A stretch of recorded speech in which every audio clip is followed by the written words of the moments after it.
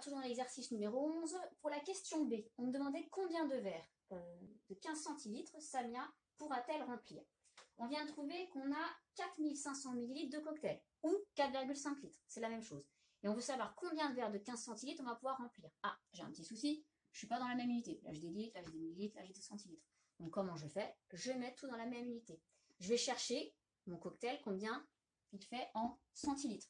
Donc, 4500 millilitres. Je regarde combien ça fait de centilitres. Ça fait 450 centilitres. Donc, maintenant, je me pose la question, 15 centilitres fois combien de verres pourra faire 450 centilitres de cocktail? Ou soit je fais multiplication à trous, pas forcément facile. En CM2, on connaît l'inverse de la multiplication, c'est la division. Donc, pour trouver le nombre de verres, je fais une division. 450 divisé 15. Alors, on se souvient, petit rappel, ça fait longtemps qu'on n'a pas fait de division. Je cherche 15 fois combien pourra faire 4.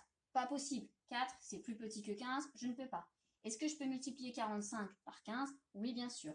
Donc, je cherche le nombre de chiffres au quotient. Je fais toujours mes prévisions pour éviter de me tromper. Là, je suis en train de calculer le nombre des dizaines. Ensuite, j'aurai à calculer le chiffre des unités. Donc, j'aurai deux chiffres à mon quotient.